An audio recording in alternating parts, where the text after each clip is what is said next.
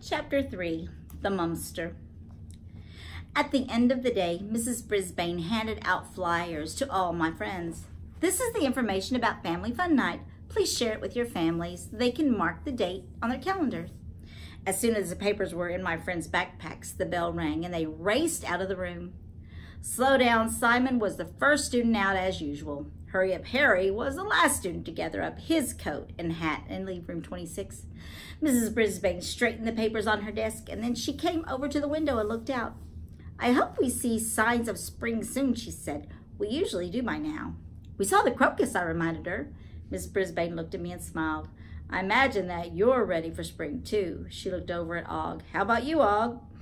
Og didn't answer. He just dived into the water, water side of his tank and started swimming. Mrs. Brisbane chuckled. At least you have a swimming pool year round. Hamsters like me don't like swimming, but I guess humans and frogs do. After Miss Brisbane was gone for the day, and before Aldo came to clean, I told Og I was going to visit Gigi. I wanted to make sure she saw the flower in the snow before it was dark. Hi, Humphrey, Gigi happily squeaked as I slid under the door. I scurried over to the table and swung myself up. I was a little out of breath when I said, Did you see the first sign of spring? No, Gigi said, looking around her cage. Where is it? Outside, I replied. Luckily, the blinds were open. Gigi looked toward the window, and I twisted her head from and twisted her head from side to side. I don't see anything but a little snow on the ground. Open your door, I said. Remember how? Gigi leaned against the door, wiggled and jiggled until it popped open. I can't believe that really worked, she said. The two of us moved closer to the window and looked out. Look over to look over to the right, near that tall tree. There's something purple on the ground, I explained. Gigi squinted and stared, and then she said, What is that? I explained about the crocus being the first flower of spring pushing up through the snow. I don't think flowers grow when it's cold, Gigi said. I explained that they usually don't, but sometimes they pop up right through the snow. It's beautiful, Gigi whispered. We sat for a while staring at the little speck of purple in the white snow. Finally, I said, Did Miss Mac tell the class about Family Fun Night? Uh-huh, Gigi said. Sounds like fun. But will there be a lot of people there? And will it be noisy? Yes, I laughed. I think there will be a lot of people. And when people are having fun, they're usually noisy. Gigi giggled. That's true. She paused for a while and then she said, Families are awfully nice. I nodded. I've been to homes with lots of wonderful families. I always get a warm feeling in my toes when I see families together. Me too, Gigi agreed. Of course, I don't have a family. I don't have one either, I said, but I must have had a family sometime. I mean, as mammals, we had a mother and a father and probably brothers and sisters. I can't remember, Gigi sounded sad. Neither can I, I said. But everybody has a family somewhere. Gigi went back into that cage, into her cage. I helped her shut the door so it looked as if she had it hadn't been open. I'm sorry the blinds are open, I said. At least I saw the crocus, she said. And Miss Mac said she left a note for Aldo to close the blinds when he's done cleaning. She knows I need my sleep. Leave it to Miss Mac to understand a classroom pet. Sleep well, I told her. When I got back to my cage in room 26, I told Og all about my visit. Boing, boing, boing, he twanged when I talked about families. Do you remember your family? I asked him. He didn't answer. He just dived into the water with a huge splash. I'm sure you had a nice one, I said as I returned to my cage. I'm sure we all did, if we could only remember. When Aldo cleaned the classroom that night, he was restless. As he swept the floor, he muttered to himself, but of course Og and I could hear him. It's all happening at once, he said. Final exams, graduation, job hunting, and the two new babies.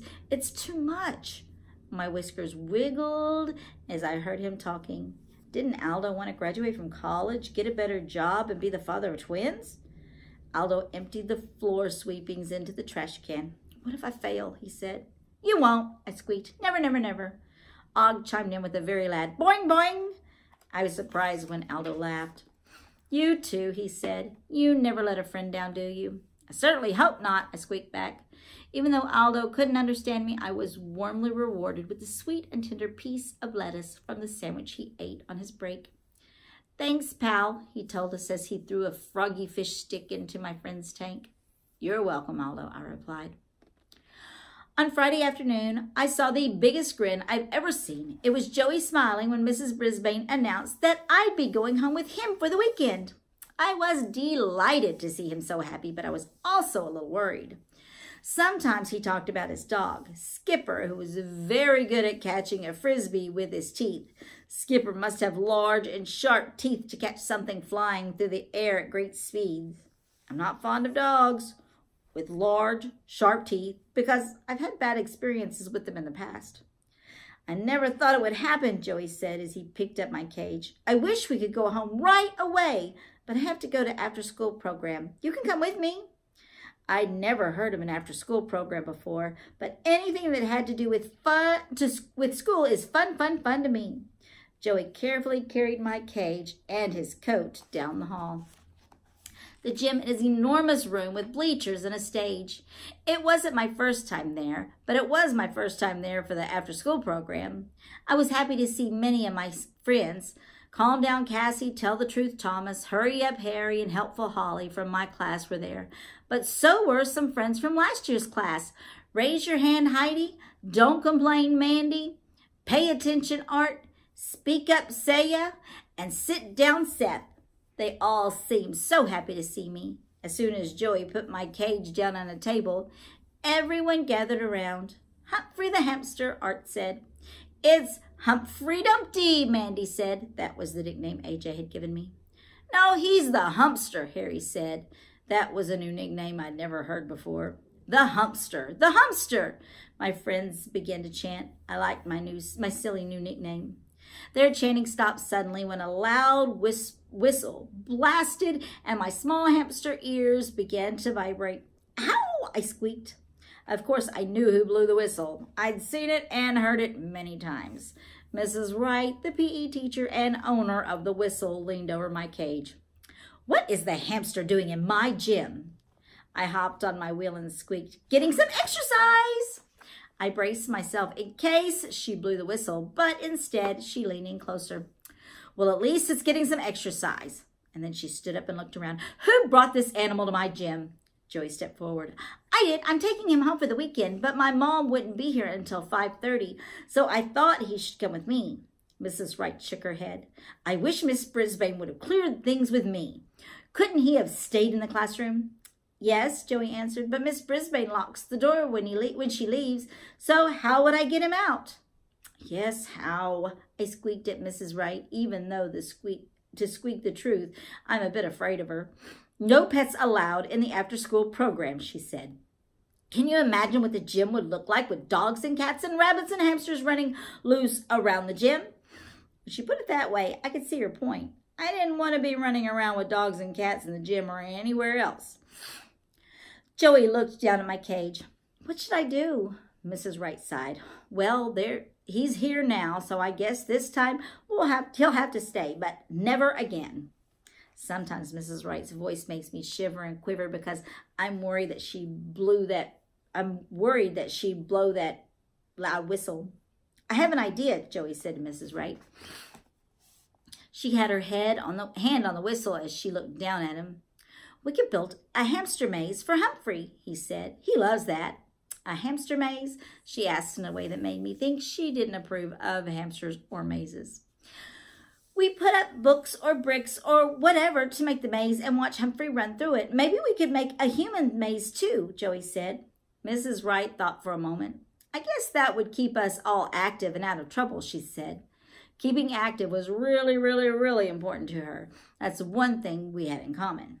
Before I knew it, there was a lovely maze on the gymnasium floor made of gymnastics mats and backpacks and cones and I don't know what. There I was, running through it as fast as my paws could take me, and there were my friends all cheering me on. It wasn't until I got to the end that Mrs. Wright blew her whistle. Eek, that was loud. But when my friends shouted, Yay, hamster, yay, hamster, I felt hamsterific. Next, my friends all ran through the maze, and I think Mrs. Wright was pretty happy to see them moving. Faster, Harry, you can do it. Go for it, Mandy, she shouted.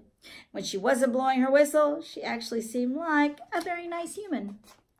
The time passed quickly, so when just Joey's mom showed up, I couldn't believe it. It was 5.30 and time to go home.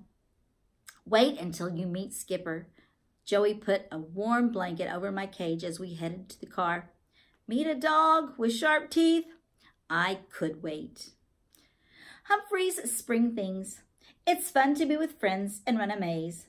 But when it comes to dogs, I'd like to wait a few more days.